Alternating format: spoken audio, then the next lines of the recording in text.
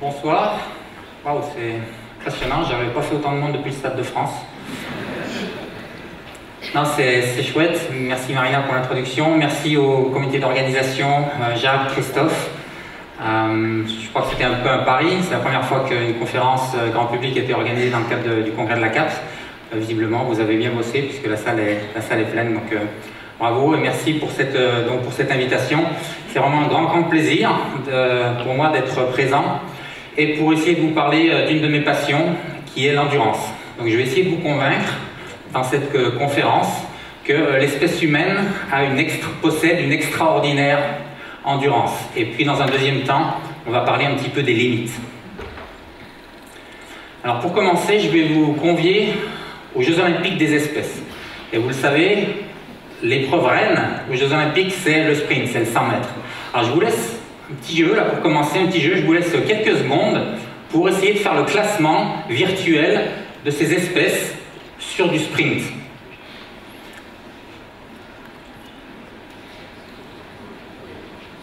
Donc votre classement personnel, interdit de copier sur son voisin.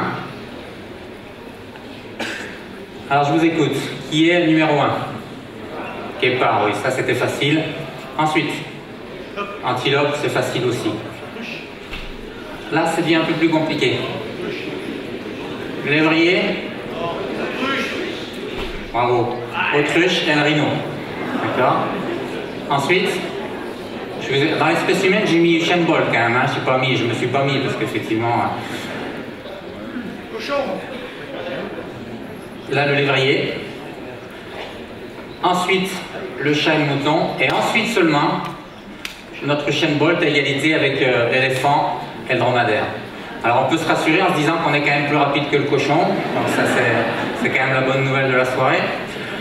Donc euh, bilan des courses, en tout cas en ce qui concerne le sprint, on n'est pas terrible. D'accord? Et pour euh, l'illustrer un petit peu plus, je vous passe une vidéo de National Geographic. Excusez-moi pour le... c'est en langue anglaise.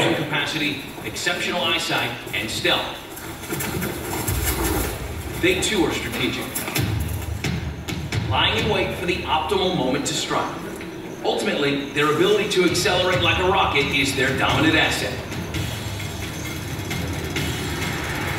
Before testing our recruits, let's try a virtual matchup between a cheetah and the fastest compris, on va faire un, un match virtuel entre les guépards et ce garçon.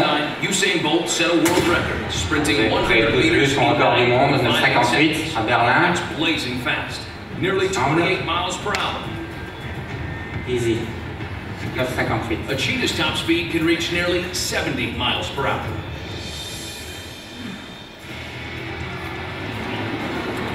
Let's put a cheetah on the track for the same event. This gives a whole new meaning to the term fierce competition.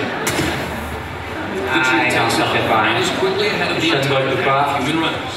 In just 5.95 seconds, the cheetah has won, beating Bolt's record by more than three and a half seconds 3 secondes 5 dans les dents. Ça hein Alors on va essayer autre chose. On va retenir le, le guépard. Combien d'or on doit le retenir? Let's hold the cheetah in the starting block and spot bolt as much as 40 meters out of 100. That compris, ils vont laisser euh, 40 mètres d'avance à Usain Bolt. Regardez ce qui va se passer. Quand il arrive aux 40 mètres, il lâche. We release the cheetah. With amazing acceleration, she catches up. Bon bref, vous avez compris, on n'est pas terrible. Donc euh, voilà, donc euh, Guépard 110, 120 km h la Gazelle 90 km h et nous voilà, on est capable, et encore quand je dis nous, effectivement c'est pas moi, moi ça doit être à peu près 25 km h ma vitesse de pic, donc euh, mais Usain Bolt c'est 40 km h Alors peut-être qu'on est meilleur en son longueur. Alors son longueur, si on compare avec ce, que sont capables de faire certaines espèces, euh, non, ça fait pas non plus. Alors peut-être en, si en natation, non, non plus, c'est pas...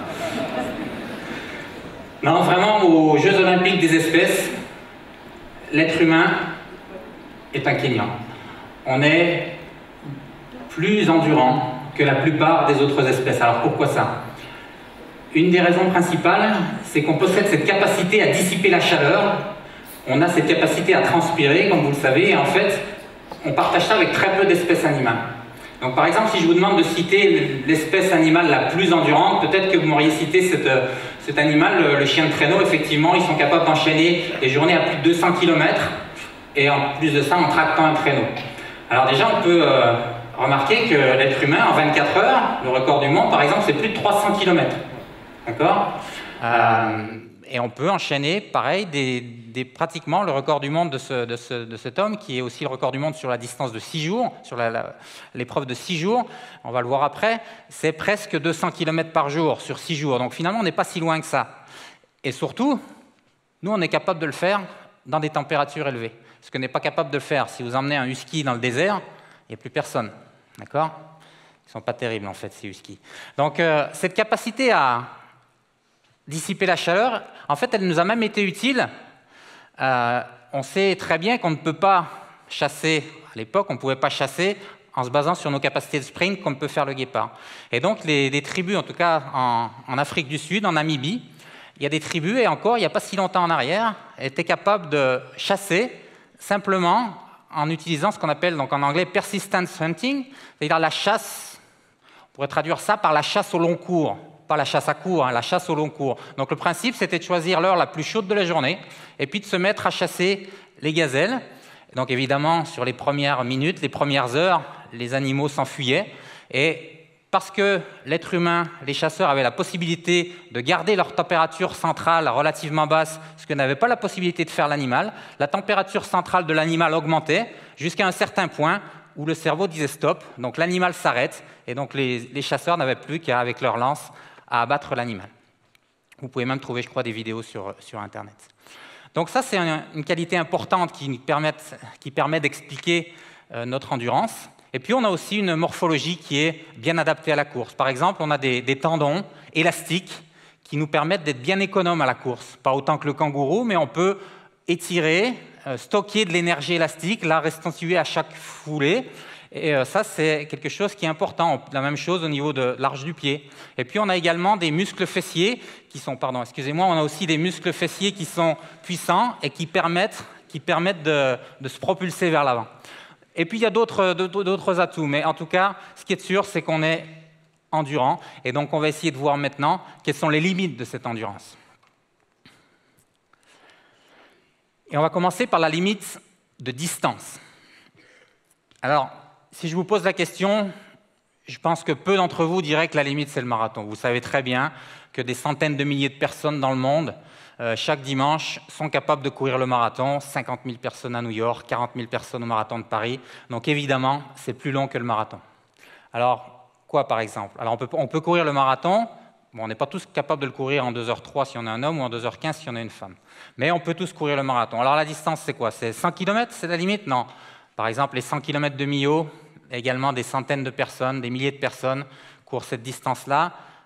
Un autre exemple, presque 100 km, 90 km, le marathon des Comrades en Afrique du Sud, 12 000 personnes au départ. Donc pour vous montrer un petit peu la popularité de ces épreuves d'ultra-endurance, euh, en tout cas dans certains pays du monde. 10 euh, heures de direct à la télévision, enfin vu, d'ici, on ne peut pas imaginer le, succès populaire de cette épreuve. En tout cas, bon, ce n'est pas 90, 100 km. Alors 500 km Alors non, parce que là, j'en profite pour euh, peut-être euh, peut-être certains d'entre vous qui connaissent un petit peu l'ultra-endurance et qui, on va reparler de l'ultra-trail du Mont Blanc, je vais effectivement expliquer ce que c'est que l'ultra-trail, donc ces épreuves au long cours dans les montagnes. Euh, on peut, certains d'entre vous ont peut-être tendance à penser que c'est quelque chose qui est nouveau, cette épreuve UTMB, elle a 12 ou 13 ans. Euh, mais en fait, l'ultra-endurance, c'est très ancien, entre deux guerres. Vous voyez, Paris-Belfort, 500 km, déjà beaucoup de monde au départ. Et il y avait même avant ça, des courses, donc à la fin du 19e siècle, des courses de six jours qui étaient organisées, des courses de six jours indoor, d'ailleurs sur lesquelles les spectateurs euh, pariaient sur les coureurs. C'était des courses indoor sur des pistes en bois de, 250 mètres. Euh, et vous voyez que les, coureurs à cette époque, 1888, George Littlewood, ben, il n'était pas ridicule plus de 1000 km déjà en 6 jours. Et finalement, ce n'est pas très éloigné du record actuel de, Yanis Kouros, donc qui est de 1127 km. Euh, voilà, donc on est capable de faire des choses comme ça. Alors, quoi, plus long encore que 1000 km Allez, on va, allons-y. Hein. Donc, euh, je peux vous citer cette course-là, par exemple. Bah, vous avez, je pense que le, nom de la course parle de lui-même, 3100 mile race. Donc, ça fait, si vous n'avez pas faire la, transcription en kilomètres, bah, je l'ai fait pour vous, 5000 km. Euh, bon, il faut sauver un petit peu des jours de vacances hein, si, vous voulez, euh, si vous voulez participer à cette course, parce qu'il faut, euh, au maximum, vous avez droit à 52 jours. Si vous êtes très fort, vous pouvez mettre 41 jours seulement pour, faire. Voilà, c'est une course. Alors, on voit déjà quand même sur la photo, il y a un petit peu moins de monde que sur le marathon. Hein, je ne sais pas si vous avez vu. Donc là, on doit sans doute dire qu'on commence à s'approcher un petit peu des, limites. Et alors, avant de, parler de la limite ultime, en tout cas de, mon point de vue, on va quand même ouvrir une petite parenthèse en disant que tout n'est pas qu'une histoire de distance. Pour l'instant, je n'ai fait qu'accumuler les kilomètres, augmenter la distance. Il y a aussi d'autres paramètres qui peuvent euh, expliquer, ou en tout cas euh, rendre une course plus ou moins difficile. Par exemple, le dénivelé, on parlait de l'ultra-trail, donc le dénivelé positif et le dénivelé négatif qui, contrairement à ce qu'on pourrait croire, est aussi difficile.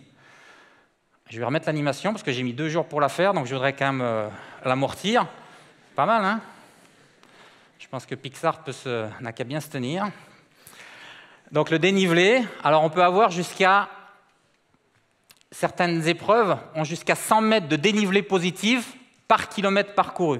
Donc si vous avez bien compris, pour une épreuve de 100 km, le dénivelé positif est de 10 000 mètres, c'est-à-dire plus que monter à l'Everest et redescendre évidemment. Exemple, la course dont je parlais, le Tour du Mont Blanc, North Face Ultra Trail du Mont Blanc. Comme son nom l'indique, on part de Chamonix, on revient à Chamonix en tournant autour du Mont Blanc, en passant par l'Italie et par la Suisse. 166 euh, km et environ 10 000 mètres de dénivelé. Donc vous avez le profil sur la diapositive.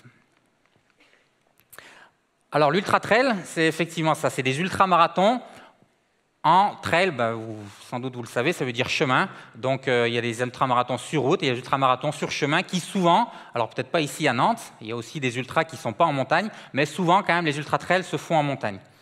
Euh, et donc l'épreuve un peu reine, en tout cas dans la, difficulté et dans la longueur, c'est cette course-là, la course euh, de Tor des Géants en Italie, qui est une course, comme vous pouvez le voir, assez récente, seulement quelques années.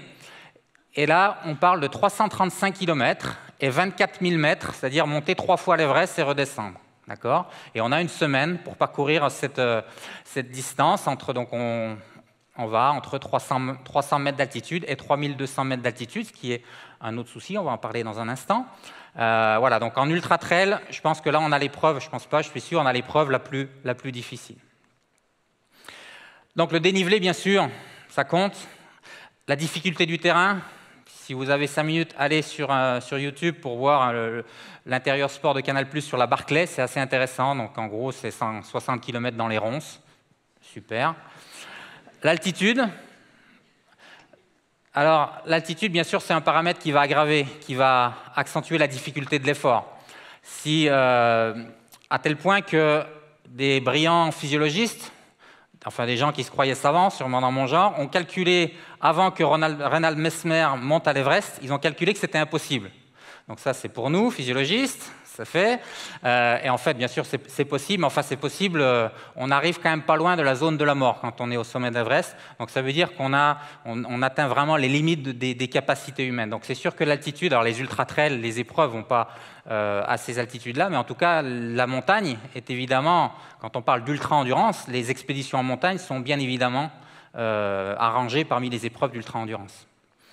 La température extérieure, soit dans le plus, exemple à Badwater, 217 km, du dénivelé, mais surtout plus de 50 degrés à l'ombre.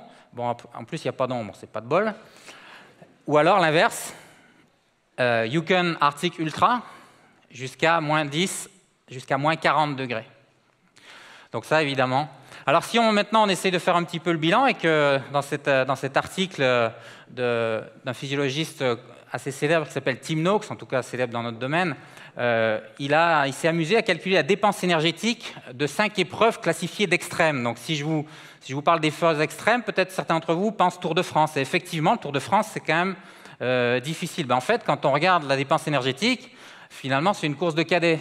Regardez, Tour de France, 170 000 seulement calories dépensées. On est bien loin donc on est en dessous de la, Race Across America, donc qui est une épreuve où on va d'ouest en est, on traverse les États-Unis. Et puis surtout, si on fait la même chose en courant, bien évidemment, on dépense plus. Et surtout, on est bien, bien loin derrière, en tout cas, on dépense beaucoup moins de calories de ce que euh, Knox considère comme une des épreuves sûrement les plus difficiles, qui est les expéditions polaires. Par exemple, l'expédition de, Scott, 1911, il a calculé que ces euh, braves garçons avaient dépensé un million de calories. Et c'est à peu près ce qu'a dépensé, en tout cas j'ai calculé que Serge Girard, qui est un Français qui a traversé tous les continents en course à pied, et en particulier il a fait donc Paris-Tokyo en courant, 19 000 km, 260 jours, j'ai calculé qu'il avait dépensé ça. Et donc, puisqu'on parle de Serge Girard, j'arrive à ce qui est pour moi l'épreuve d'ultra-endurance ultime. C'est ce qu'il a réalisé entre 2009 et 2010. Donc, il a réalisé, il a voulu battre le record de la plus grande distance parcourue par un homme en une année. Alors, à votre avis, quelle distance il a pu parcourir? Alors les kilomètres, c'est difficile, donc essayez de raisonner peut-être en, marathon ou en distance quotidienne. Donc il n'a pas pris un seul jour de repos, il a couru tous les jours. Donc en moyenne, comme ça, pendant un an, à votre avis, combien de kilomètres un être humain est capable de parcourir?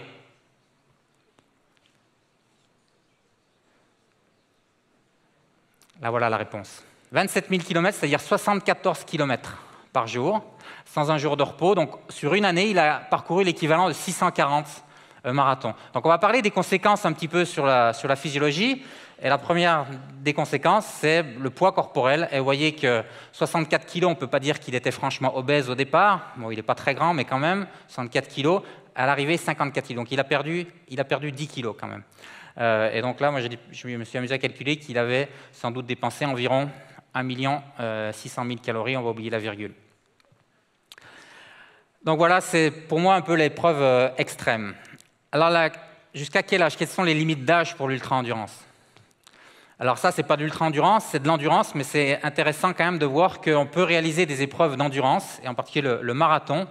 Euh, vous voyez cet, Indien, peut-être avez-vous entendu parler de ça, qui a couru le marathon à 100 ans. on ne peut pas dire que c'était Gebre Selassie, quand même, 8h25, mais euh, quand même, il a fini son marathon. Et puis le Français, Robert Marchand, 27 km en une heure, à 102 ans sur son vélo c'est joli quand même. À l'inverse, les enfants en Inde, je ne sais pas ce qu'ils ont, les Indiens, mais a priori, euh, ils aiment ça, la course à pied. 4 ans, 60 km. Ou alors, peut-être avez entendu parler de euh, cette jeune chinoise, d'après son père, qui était volontaire. 75, 65 km par jour euh, pendant 55 jours à l'occasion des, Jeux Olympiques de Pékin. Et tout ça dans des, dans des temps qui ne sont pas ridicules. Vous avez ici euh, les, chronos sur, euh, sur, marathon. Vous voyez qu'à 5 ans, alors ne me faites pas dire ce que je n'ai pas dit, hein, je n'encourage pas vos enfants de 5 ans à faire un marathon, euh, mais en tout cas, ça, se fait. Et 4 heures. À 10 ans, on est déjà à 3 heures.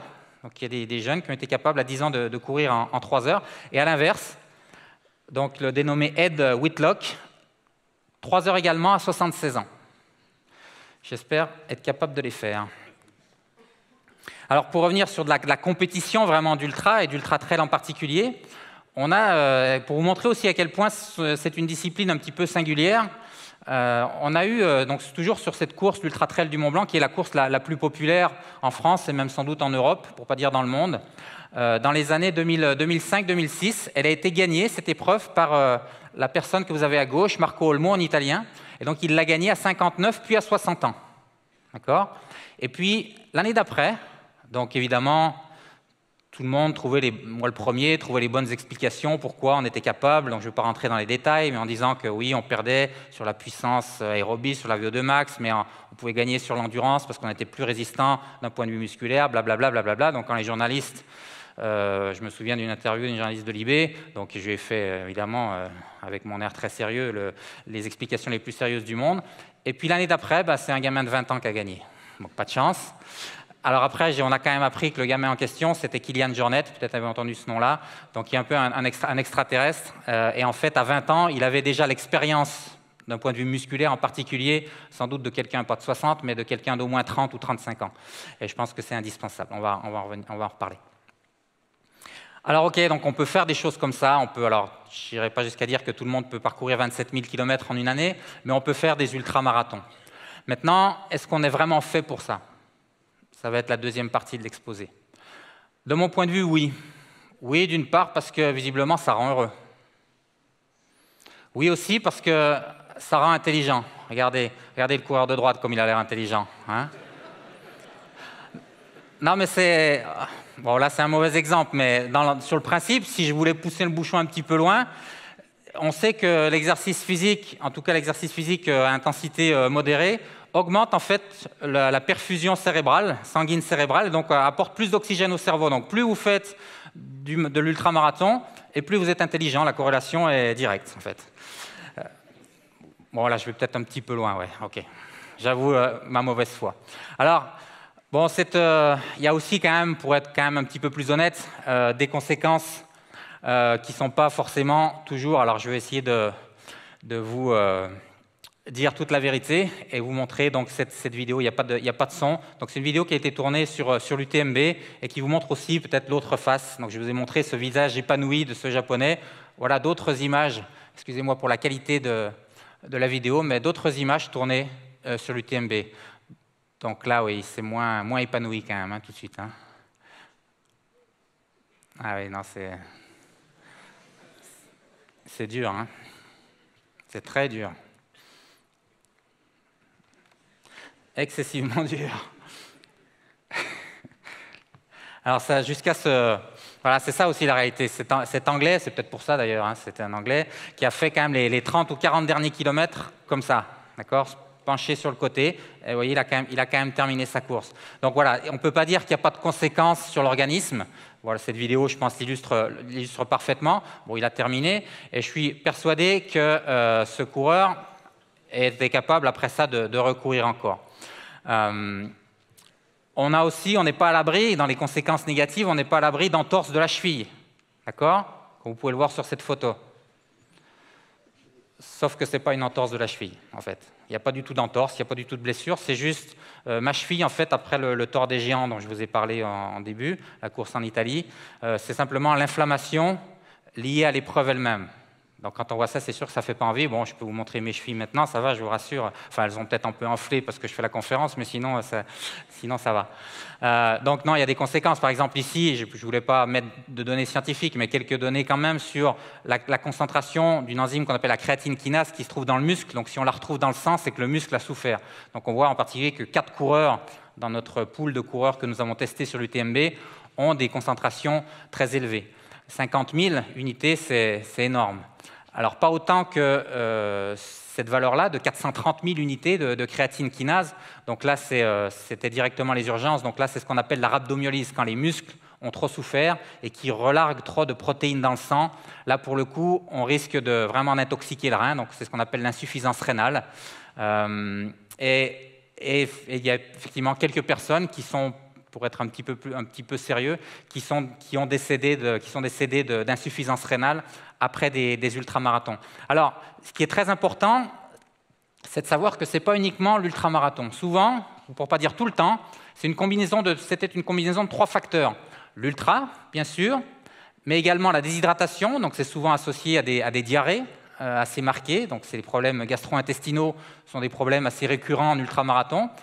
Donc ça, on ne peut pas faire grand-chose. Par contre, on peut faire quelque chose sur le troisième facteur qui doit être présent pour, avoir, euh, pour courir un risque majeur d'insuffisance rénale, c'est la prise d'anti-inflammatoires. On reviendra là-dessus, ça sera un peu la conclusion. Euh, vous verrez que ça, c'est vraiment quelque chose sur lequel euh, j'aimerais vraiment insister ce soir, sur l'automédication au cours des épreuves. La conclusion, ce sera, en gros, Bon, il y a voilà, il y a des conséquences, c'est sûr, mais pour moi, il n'y a pas de conséquences majeures à condition de ne pas faire n'importe quoi. Et une des choses à surtout pas faire, c'est ça, c'est prendre des antidouleurs et surtout pas des anti-inflammatoires.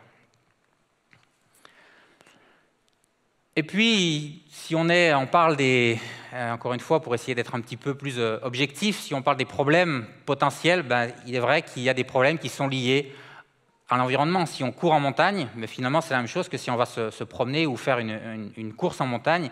Euh, oui, on risque, on d'y laisser sa peau. C'est la montagne qui veut ça. Euh, peut-être avez-vous entendu parler il y, a, quelques années de, quatre morts sur une épreuve d'ultra trail dans le parc du Mercantour.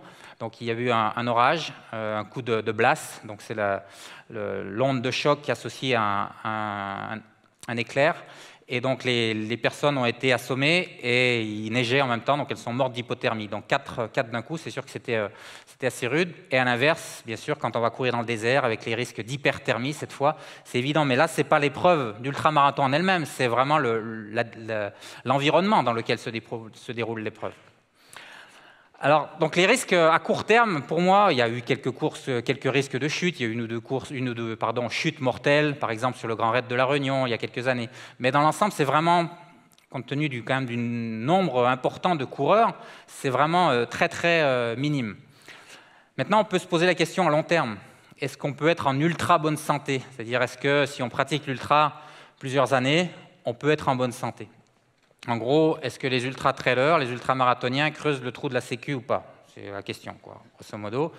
Alors, encore une fois, stress oxydant, je ne vais pas rentrer dans les détails. Donc, finalement, dans les efforts intenses, c'est plus là qu'on risque en termes de stress oxydant. Est-ce que le système ostéo-articulaire et le système musculo-tendineux, par exemple, quand on voit cet anglais, euh, on peut se dire qu'effectivement, il souffre. Et il souffre les, médecins de la vallée de Chamonix vous disent qu'effectivement, il faut un bon chiffre d'affaires la semaine d'après l'UTMB, parce que oui, ils ont plus de consultations que d'habitude. Mais finalement, ça reste de la, pour la majorité des cas, ça reste de la bobologie, et on, s'en remet assez vite. Par exemple, sur les, dommages du système ostéo-articulaire, Ok, on a des micro-traumatismes répétés quand on fait de l'ultra, mais si on, fait si on pratique le rugby ou le foot ou le judo, des sports de contact, là, Là, on a des vrais risques majeurs pour le système ostéo-articulaire, bien plus que les microtraumatismes répétés. En fait, ce qu'on peut dire, c'est qu'on manque de recul.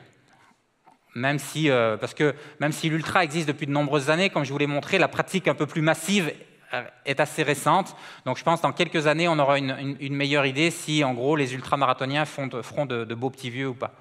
Euh, en tout cas, ce qui, pour moi, est évident, c'est que l'ultramarathon aurait paru beaucoup moins difficile à nos ancêtres.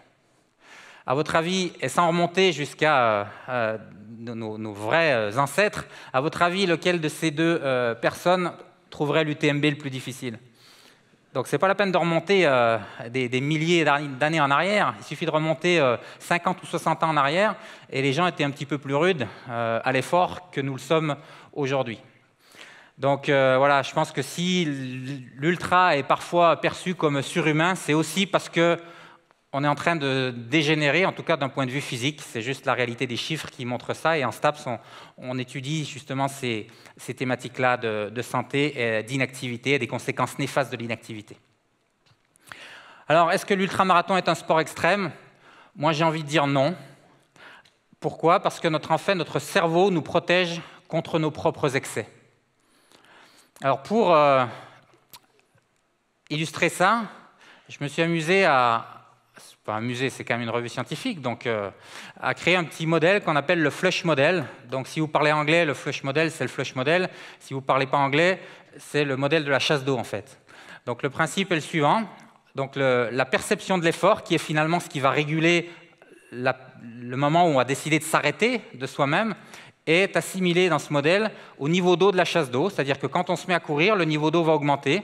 Donc la perception de l'effort, ce qu'on appelle RPE en anglais, augmente. Et on va, à un moment donné, on va décider de s'arrêter. Et on s'arrête souvent, enfin pas souvent, toujours, avant d'aller trop loin. En d'autres termes, on a une réserve de sécurité.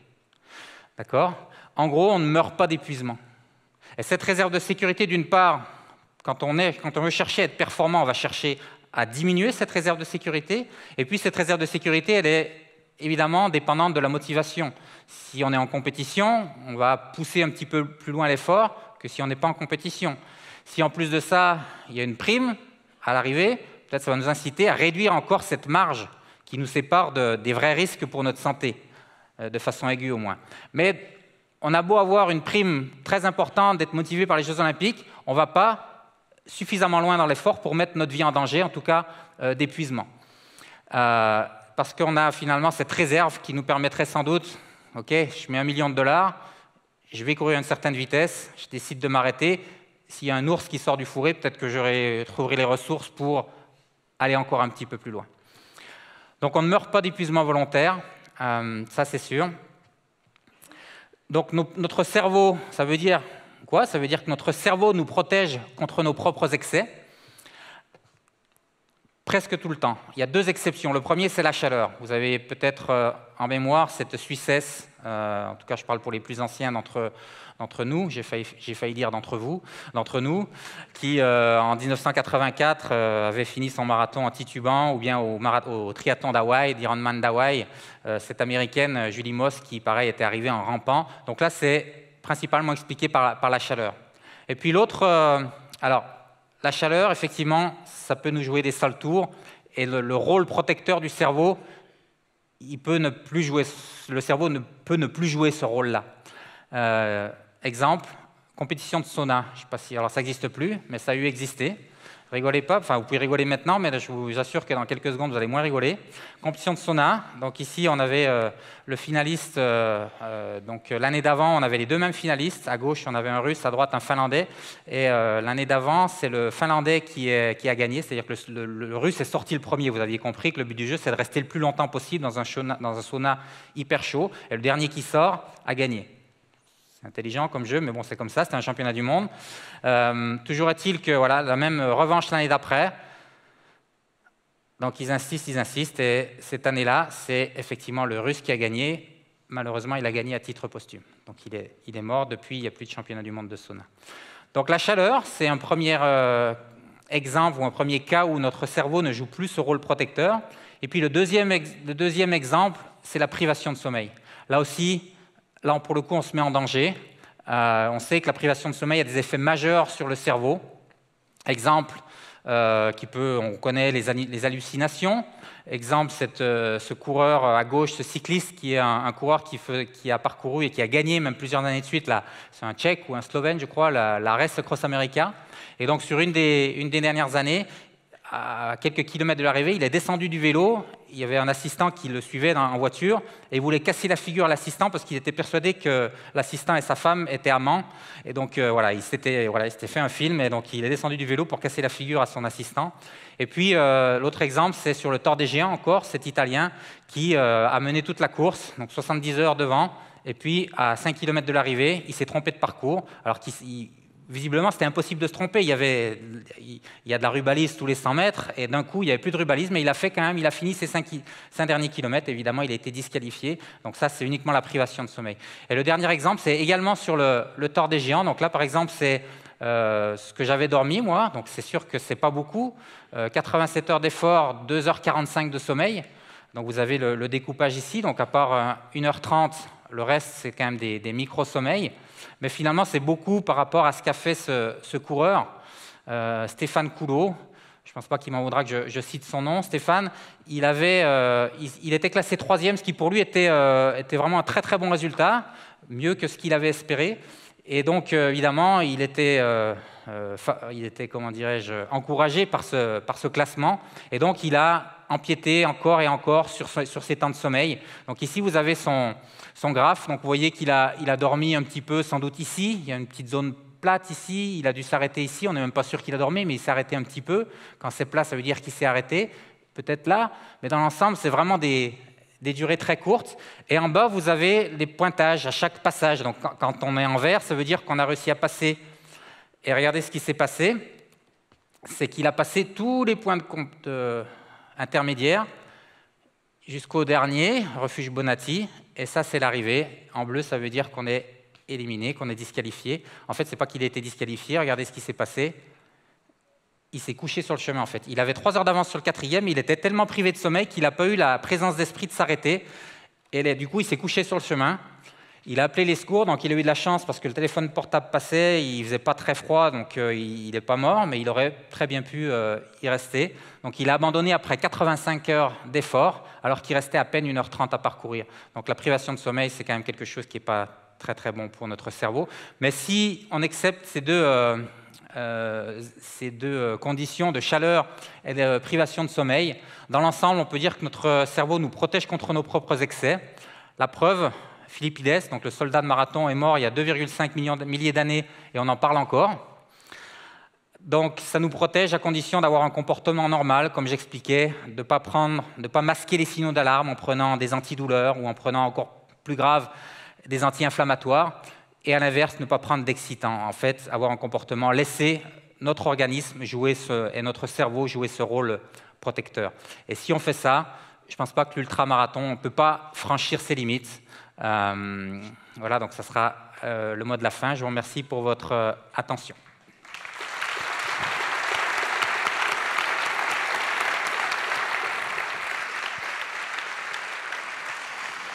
Merci Guillaume Millet pour cette présentation. Nous avons quelques minutes désormais pour un temps d'échange avec la salle. Donc je vous rappelle qu'il y a deux personnes qui peuvent vous apporter les micros. Levez la main, levez-vous, on viendra vers vous pour tout type de questions. Si vous avez des interrogations, des questions à poser, n'hésitez pas. Alors euh, Stéphane, il y a une question sur ta gauche en haut. Merci. Bonjour. Bonjour. Oula, on entend fort. Euh, merci beaucoup pour votre, pour votre démonstration. Comment? Ah, au menton. Ok. Euh, il y avait une question qui me, qui me, à laquelle j'ai jamais eu de réponse euh, euh, avant, avant ce soir, peut-être. C'est la capacité en fait d'avoir un rapport poids-puissance qui soit l'idéal pour ce type de compétition, ce type d'entraînement, parce que quand, enfin, vous l'avez précisé tout à l'heure, plus la, distance est longue, plus on perd de masse musculaire, etc. Donc la question est simple comment vous faites-vous sur des longueurs aussi importantes pour, perdre le moins de masse musculaire possible et donc euh, garder ce rapport poids-puissance euh, idéal? Est-ce que vous parlez de euh, garder sur l'année ou sur l'épreuve, sur une épreuve en particulier? Bah, Vous avez donné par exemple des, des, données où il y avait des gens qui perdaient 10 kilos. pour vous, est-ce que vous avez constaté, par exemple sur un ultra trail, je sais pas moi, 2, 3 kilos de perte de masse musculaire qui aurait pu justement bousiller une partie de votre performance? Non, alors les 10 kilos, je vous resitue, c'était euh, Serge Girard sur une année complète. Hein. Ah d'accord, donc 27 000 km, il n'y a quand même pas beaucoup d'épreuves dans le monde qui font 27 000 km. Donc euh, non, c'est vraiment très très très très particulier. Perdre 2 kilos et même perdre 500 grammes de masse musculaire au cours d'un effort, y compris de 6 jours, c'est impossible.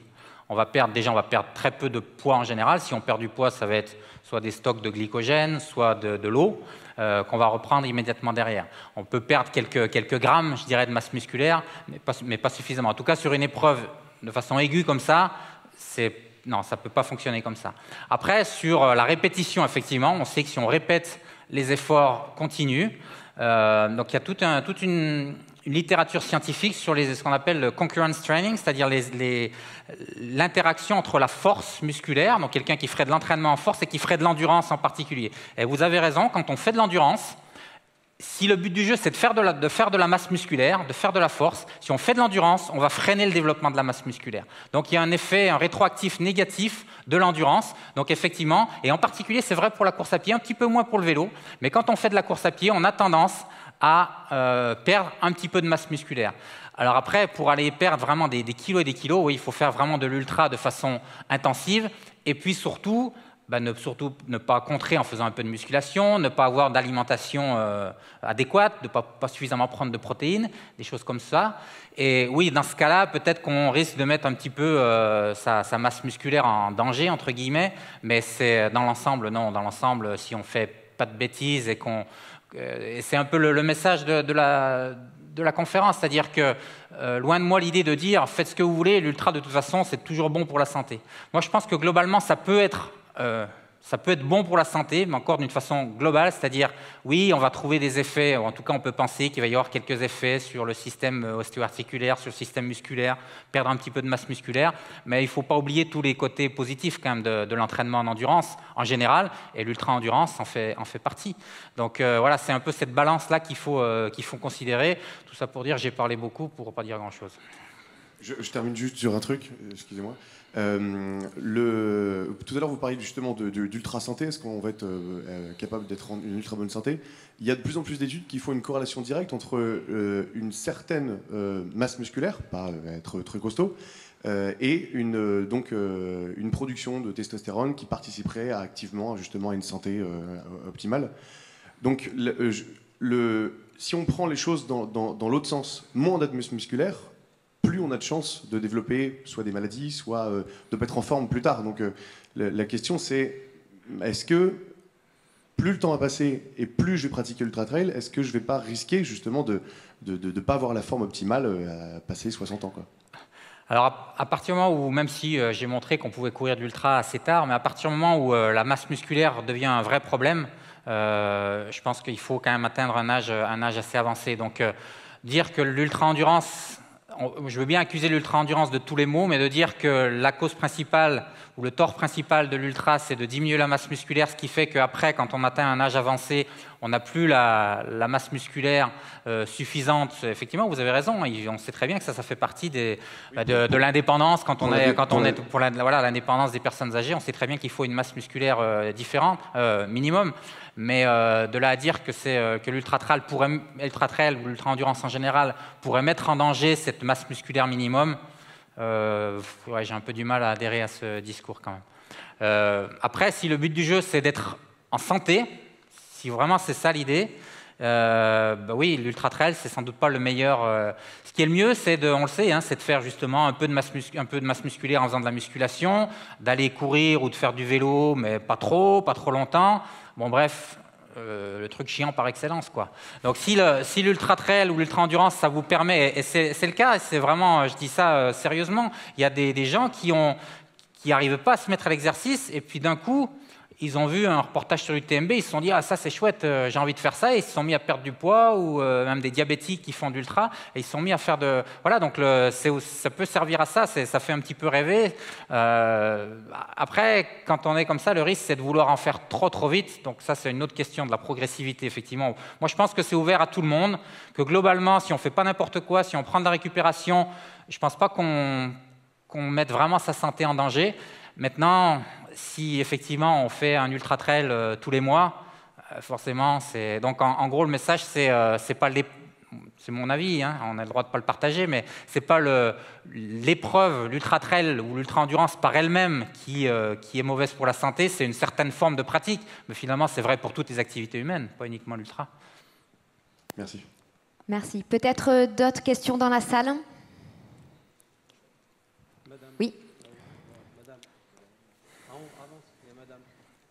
Alors, euh, Eric Et ensuite, je reviendrai vers vous. Moi, je voudrais vous poser une question sur la douleur.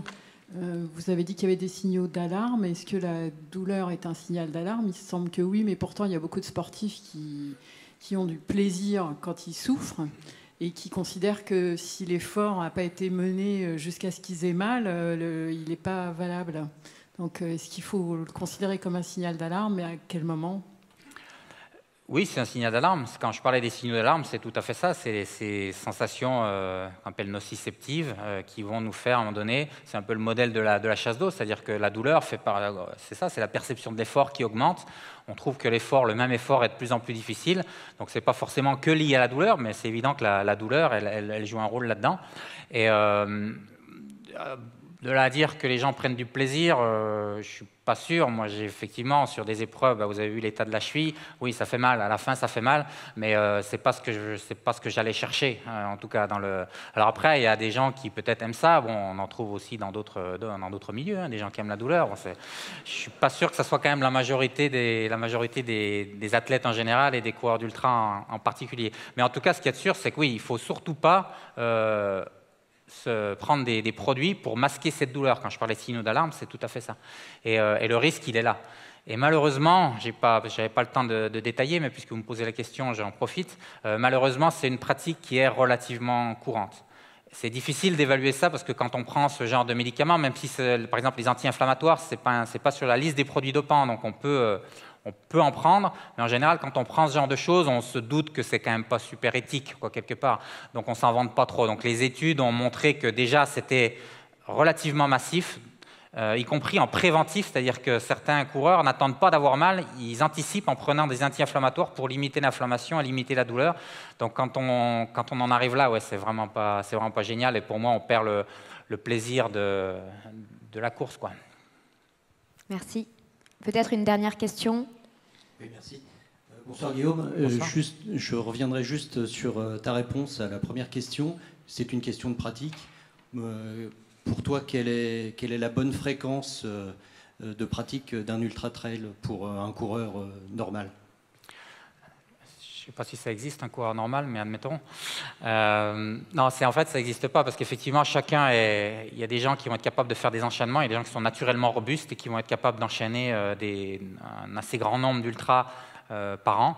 ceci étant dit, pour ne pas botter en touche et donner quand même une réponse, pour moi, le chiffre ce serait deux, deux ultras. Alors, il y a ultra et ultra. Hein, quand on fait, il faut déjà s'entendre sur la définition d'ultra. Est-ce qu'on fait, quand on fait 43 km, on est au-delà du marathon, c'est de l'ultra-marathon? Bon, on peut faire plus que deux fois 43 km en compétition dans l'année. Maintenant, si on parle d'épreuves comme le Tour du Mont Blanc, ouais, quand on en a fait deux dans l'année, déjà, je pense que c'est que c'est pas mal. Donc, si je devais, si je devais donner un chiffre, ce serait celui-là, deux par an. Est-ce qu'on a le temps d'une dernière? Oui. Donc nous avons des mains qui se lèvent, vous voulez bien? Alors euh, allez, on va en prendre deux dernières, une ici à gauche et puis ensuite euh, une fille au milieu. Bonsoir. Bonsoir. Euh, pour pas recentrer le débat, mais revenir à votre titre, vous parlez de limites et possibilités du corps humain, non pas que dans la course à pied, mais selon vous, par rapport aux performances qui sont mesurées aujourd'hui sur les Jeux, sur pas mal de championnats du monde, est-ce que vous pensez qu'on s'éloigne des performances les plus élevées possibles Ou est-ce qu'on s'en rapproche Et si oui, euh, comment euh, axer un entraînement pour s'en rapprocher aujourd'hui? Ouh, ça c'est vaste comme question. Alors, je n'ai pas bien compris l'histoire de comment on peut s'éloigner, parce que les, les, records du monde progressent, donc comment on peut s'éloigner? On peut, on peut que se rapprocher finalement. Vous avez dit que l'humain déclinait en termes de santé et D'accord. Alors, c'est par rapport à ça en fait. Oui, oui d'accord. Donc, si on prend la moyenne, effectivement, euh, de la population, c'est le cas. Après, quand on prend l'élite de l'espèce humaine, donc les athlètes de, haut niveau, globalement, les records ne font que ne font qu'on progresser. Donc, c'est sûr qu'on ne fait que se rapprocher de ce qui pourrait être les, limites. Ça, c'est une question qui est, qui est vraiment euh, très compliquée. Il y a des gens qui ont des équipes de recherche à Paris, une équipe de recherche qui s'intéresse beaucoup à ça, euh, à l'INSEP. oui, on se rapproche des, des limites, c'est sûr. Maintenant par exemple, on pensait qu'on était pratiquement, avant que Usain Bolt euh, n'arrive sur le, circuit, on pensait qu'on était pratiquement aux limites de ce qu'un humain était capable de faire en termes de vitesse. Et puis, euh, Usain est arrivé et a mis, euh, je ne sais plus combien, enfin, il a baissé le record du monde de façon incroyable. Donc voilà, on n'est pas à l'abri de, choses comme ça. Mais globalement, oui, l'évolution du performance, c'est une asymptote comme ça. Et donc, globalement, la, la, performance diminue, mais de plus en plus lentement. Donc il y avait une après, il faudrait vraiment euh, comment faire pour s'entraîner? Ça, c'est vraiment trop vaste, c'est impossible de répondre à cette question. Je vais juste prendre un exemple qui est le, marathon. Il y a eu dans notre discipline de physiologie, il y a eu un article dans un journal assez connu qui s'appelle, euh, peu importe le nom du journal, sur est-ce qui va battre le record de 2 heures au marathon? Donc pour l'instant, on est un, un, petit peu en dessous de 2 heures 3 minutes. Donc ça peut paraître euh, pas grand-chose. et donc il y avait toute une discussion entre, entre scientifiques sur, d'une part, qui va le battre donc là, on est assez d'accord pour dire que ça sera forcément un Kenyan ou un, Éthiopien. De toute façon, il domine 90% des, compétitions. Donc en tout cas, un Africain de l'Est, pour des raisons qui sont super intéressantes, mais que je n'aurai pas le temps de développer aujourd'hui. Et puis surtout, la, question, votre question, c'est plutôt quand donc là, les gens sont beaucoup moins d'accord. Les gens qui pensent en fonction du modèle qu'on choisit pour analyser l'évolution des performances, certains pensent qu'on atteindra les deux heures au marathon, donc je vous rappelle qu'on est à 2h03, euh, certains pensent qu'on atteindra les deux heures au marathon en 2035, donc seulement dans 20 ans. Moi, je pense qu'on sera beaucoup plus, ce sera beaucoup plus tardif et je ne pense pas que je verrai de mon vivant euh, euh, deux heures au marathon. Mais on y viendra, je pense qu'on y viendra un jour. Merci. Dernière question, donc.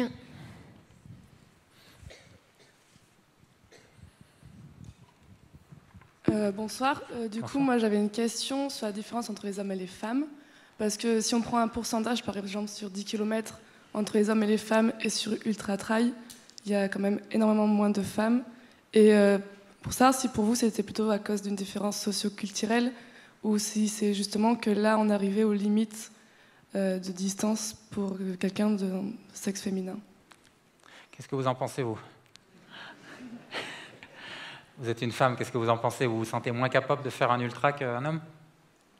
Euh, après, ça va être surtout au niveau d'une question de temps d'entraînement, je pense. Non, mais d'une façon générale, oui. Mais je, voilà, si c'est une question d'entraînement, vous avez répondu à la question.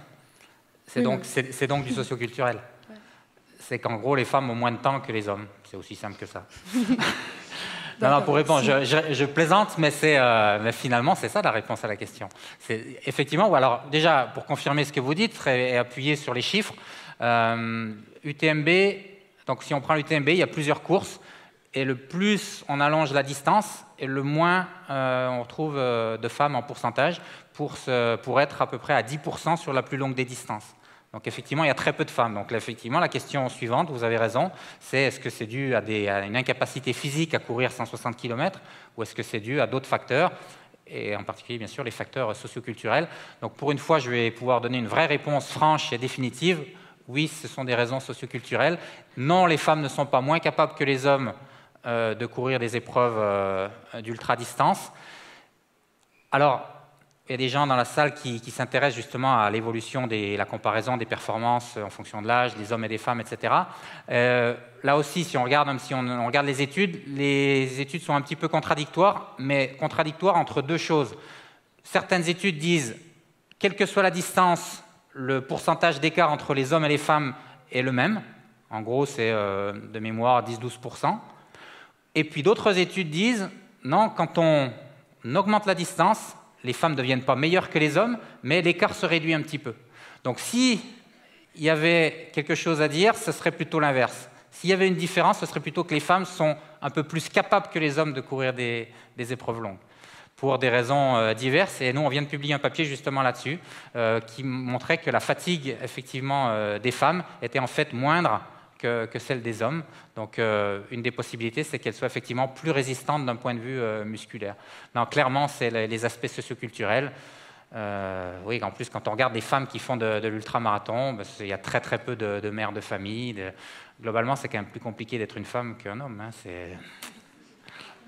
enfin, moi, je m'en fous, je suis un homme. Hein, donc... Merci à Guillaume Millet.